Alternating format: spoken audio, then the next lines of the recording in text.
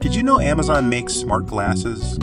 They're called the Echo Frames, and they have a built in Echo device that is not really smart because they're dumb, but they're smarter than normal glasses. You could get the Wayfarer glasses, or for a fraction of the price, you can get the Echo Frames for only $170. As always, links will be in the comments and description.